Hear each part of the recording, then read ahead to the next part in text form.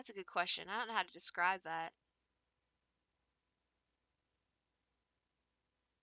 It just it was stinky. Not stinky like me. Not stinky like pee.